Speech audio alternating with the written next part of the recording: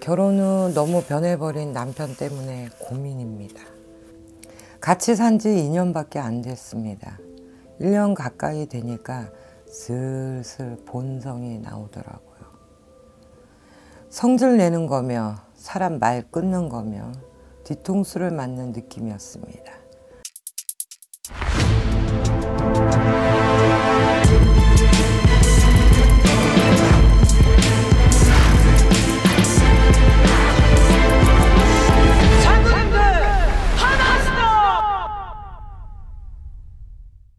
안녕하세요.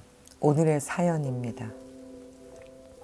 이수경 여성분이시고 음력 88년 7월 17일 생입니다. 자, 안녕하세요 선생님. 남편 문제로 사연 남깁니다. 결혼 후 너무 변해버린 남편 때문에 고민입니다. 남편의 두 얼굴을 봤다는 뜻도 되겠네요. 연애 때는 정말 순수, 착한 척 했습니다. 연애 때는 결혼을 해야 되니까 남자들이 다 매너 좋은 것처럼 하기도 해요. 실제로 그런 줄 알았고요. 같이 산 지 2년밖에 안 됐습니다. 1년 가까이 되니까 슬슬 본성이 나오더라고요.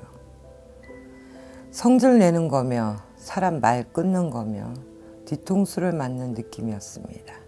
연애한 지 2년쯤 결혼 준비 시작했었고 3년쯤에 결혼한 건데 그럼 총 지금 한 5년, 5, 6년 된 거네요. 그동안 정말 전조 증상도 없었습니다. 정말로.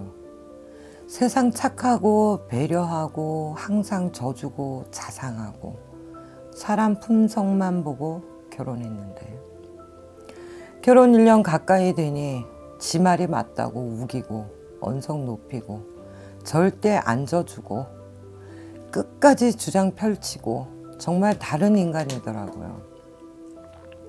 실망 많이 하셨나 보네. 연애 때 심지어 한 번도 싸울 일도 없었고 세상 별의 이 배려심도 있고 천사 같은 사람이었는데 야 근데 이제 이마에 뿔이 두 개가 나오는 악마로 꼬랑 꼬랑지에 삼지창이 나오고 진짜 사기 당한 거라고 이런 생각밖에 안 들었습니다. 결혼하려고 쇼를 한 건지 아닌지 말이 안 되는 상황이 되어버렸습니다. 이혼을 생각 중인데 남편이 순순히 해줄까요? 아니면 다른 좋은 해결책이 있을까요? 있습니다. 결론부터 얘기하면 자 88년생이면 지금 삼재인 무진생이야. 우리 수경 씨가. 그러니까 작년, 올해, 내년이 삼재팔란이고 내후년 당신 생일이 7월이니까 상반기까지 꽉 채워서 삼재의 영양권 안에 들어오죠. 자, 삼재팔란에 나는 결혼도 했고 삼재를 앞두고 봤을 때 남편이 처음에는 부드러웠어. 근데 결혼하고 살면서 내면이 그런 사람인지 어쨌든 그런 모습이 표출이 됐을 때 한 번 정도는 원인을 수경 씨한테도 보십시오. 내가 무조건 이 남편 편을 드는 게 아니야. 연애할 때 내 모습과 남편의 모습이 있잖아. 근데 서로 호감을 갖고 결혼을 꿈꾸면서 연애할 때 모습에는 적어도 매너를 지켰을 거고 예쁜 모습만 보여주려고 했었을 수도 있어. 양쪽 다.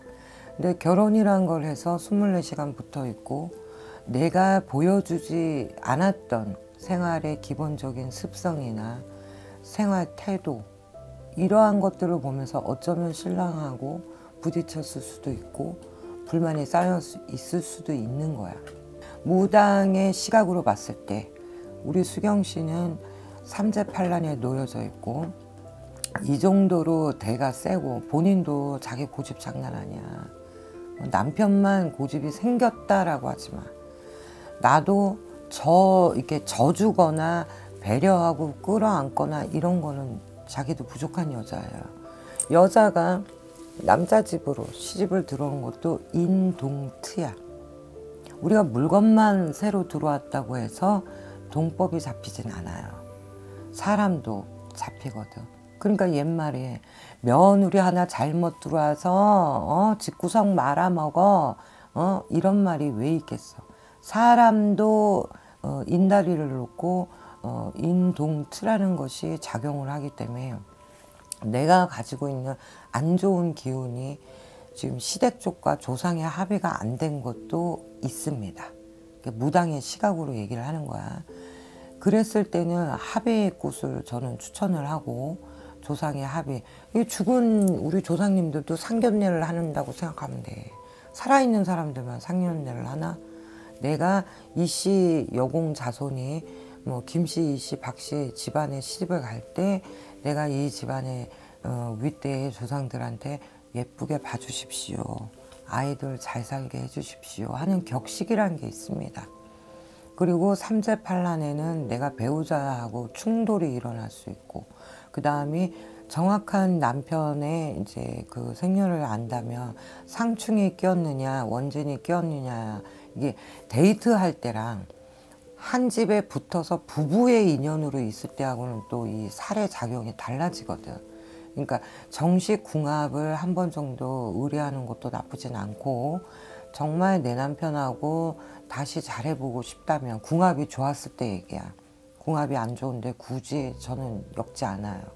그랬을 때는 조상 합의를 해서 극복을 하라고 조언을 주고 남편하고 본인하고 궁합으로서는 상충, 원진 이런 것이 껴있고 합의점을 찾기가 어렵다면 저는 이별을 선택하라고 할 겁니다.